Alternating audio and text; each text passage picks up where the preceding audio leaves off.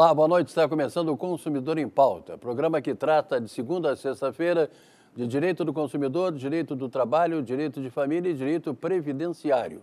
Sempre aqui na TVE, né? Vocês podem mandar perguntas para cá através do telefone 3230 1530, do nosso WhatsApp, que é 984316352, ou então através do nosso e-mail, que é consumidor.tve.com.br vocês mandem para cá, está tá aí no, no, na tela, tem todas as informações. Tá? Mandem para cá, perguntem. Nós sempre temos um especialista aqui para responder sobre os assuntos do dia. Como, por exemplo, hoje nós estamos, antes de anunciar o meu convidado, eu vou dizer para vocês que não esqueçam que segunda-feira nós estaremos aqui a partir das seis e meia da tarde. E o programa terá meia hora, em vez de 15 minutos, nós teremos meia hora, das 6 e meia às 7 horas da noite, a partir de segunda-feira, dia 22. Agora sim, vou anunciar o meu convidado, que é o doutor Luiz Gustavo Ferreira Ramos. Boa noite, doutor Luiz Gustavo, tudo boa bem? Boa noite, Machado, boa noite aos nossos telespectadores. Doutor Luiz Gustavo, gostaria de tratar, mesmo que rapidamente, com o senhor a respeito da, da nossa tão falada reforma que agora reforma previdenciária que agora parou um pouco devido a essa crise que a gente nem precisa falar. Pois é, Machado. Uh, em função dos últimos acontecimentos, o relator da reforma da Previdência, da PEC, que trata da reforma da Previdência, divulgou nota informando, comunicando à população que uh, os trâmites da reforma uh, serão paralisados e a reforma não voltará a andar enquanto a situação não se estabilizar. A gente não sabe por quanto tempo essa suspensão, digamos assim, vai perdurar, mas aí eu gostaria de informar aos nossos telespectadores que, em função disso, que tenham calma e que procurem a melhor aposentadoria possível. Então não se apressem. Aqueles que estavam correndo, que têm agendamento marcado e que estão encaminhando a aposentadoria tão somente com medo da reforma previdenciária, bom, agora podem ter um pouquinho de calma e procurar sim a melhor alternativa. Bom, que essa calma, que essa parada também não dure tanto tempo assim, porque a gente precisa sair dessa crise, né, doutor Gustavo? Verdade, e precisamos de uma definição na de uma área definição, do direito previdenciário. Exatamente. Nós precisamos de uma definição. Com certeza. Vamos lá para as perguntas do dia, são muitas as que chegam aqui através desses endereços que eu já dei para vocês aí. A primeira é do Jairo, aqui de Porto Alegre. Ele diz que em fevereiro de 2016 sofreu um acidente de trânsito quando quebrou uma perna e um braço. Ele ficou em auxílio doença até fevereiro desse ano e foi liberado pela perícia do INSS. Retornou ao trabalho, mas agora foi demitido. Ele quer saber se isso aí é uma ação correta. Bem, no que diz respeito à demissão, uh, trata-se mais de uma questão da área trabalhista. Mas, em princípio, não haveria qualquer problema em o seu empregador lhe demitir porque o senhor não tinha estabilidade no emprego, porque essa estabilidade no emprego ela decorre de um acidente de natureza trabalhista, então um acidente do trabalho.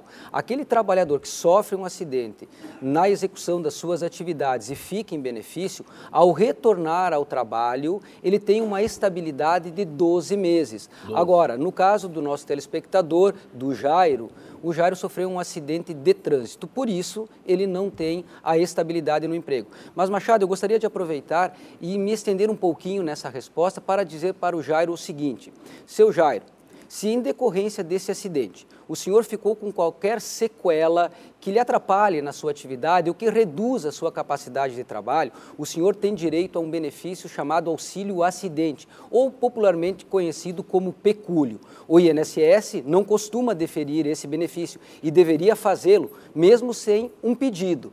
Então eu aconselho que o senhor procure um advogado da sua confiança, apresente a sua situação, que talvez o senhor tenha direito a esse pecúlio.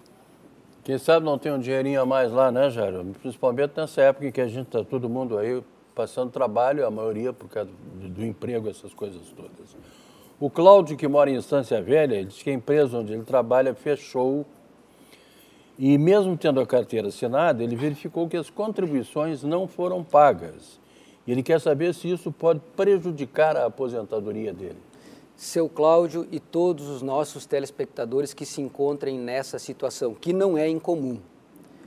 Se o vínculo de emprego é regular, se a carteira está assinada e o vínculo é uh, regular mesmo, Se a empresa contribuiu ou não contribuiu, este é um problema que deve ser resolvido entre a empresa e o INSS. O trabalhador não pode ser prejudicado pela ausência de contribuições. Este é um problema que o INSS vai ter que resolver lá com a empresa.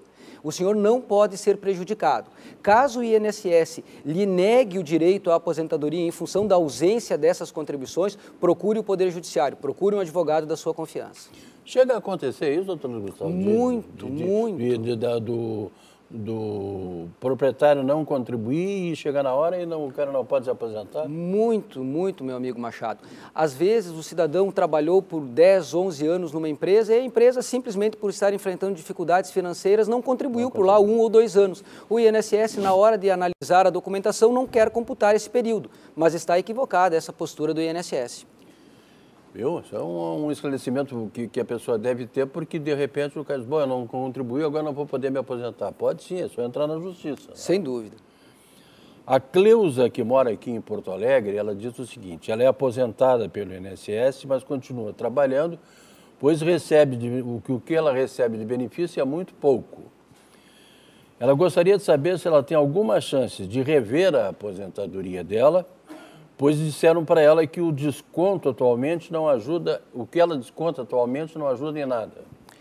É a dona Cleusa, dona né? Cleusa. Dona Cleusa, uh, a sua situação é, é, uma situação típica de desaposentação. Pessoa que se aposentou, continuou trabalhando e que gostaria então de revisar o benefício para que fosse levar, para que no cálculo fossem levadas em conta essas contribuições feitas após a aposentadoria.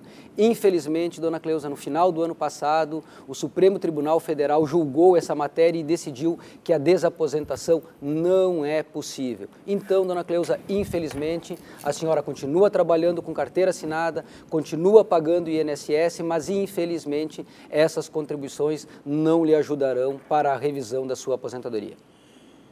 Eu posso até falar de cadeira de uma situação dessa, porque eu sou aposentado do INSS, continuo trabalhando, porque como exatamente como a dona Cleusa, eu, a minha, o meu benefício é muito pouco, como a maioria dos benefícios que o INSS paga.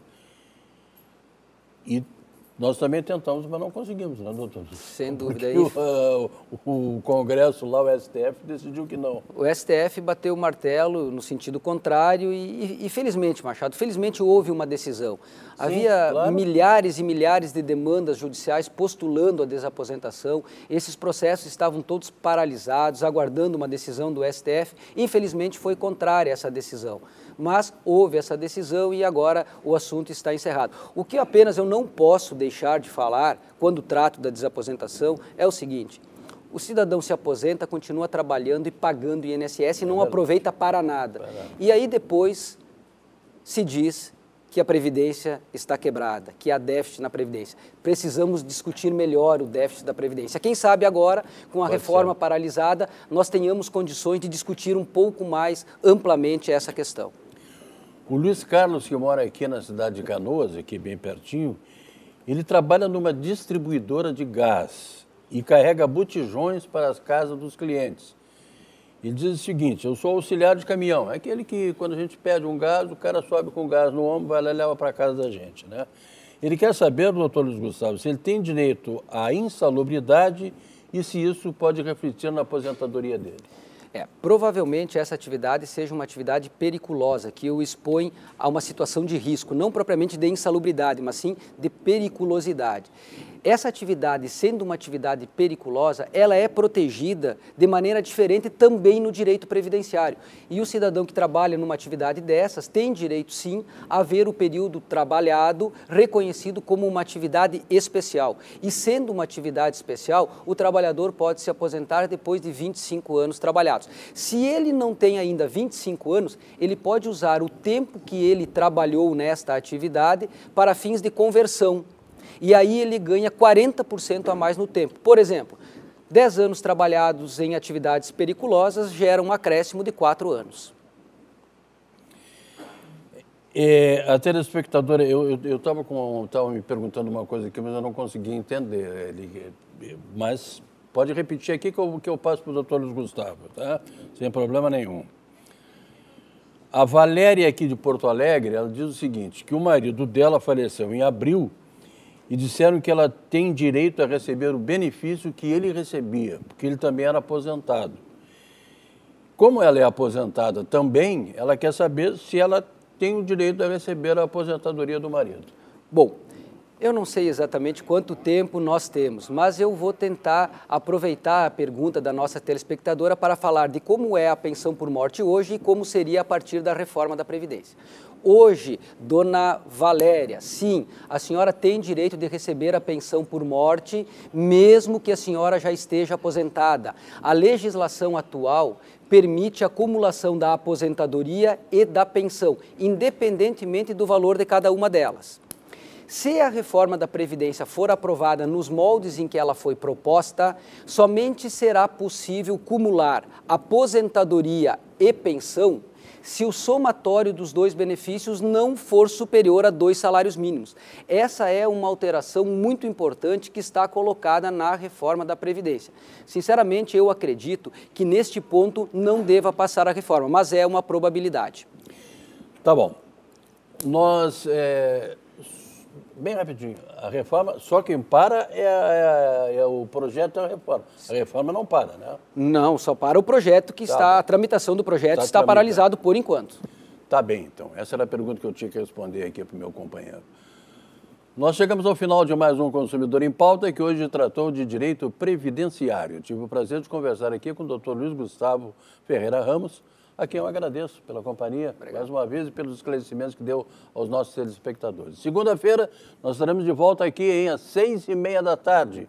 Vamos tratar de direito do consumidor. Muito obrigado, bom fim de semana a todos e até lá.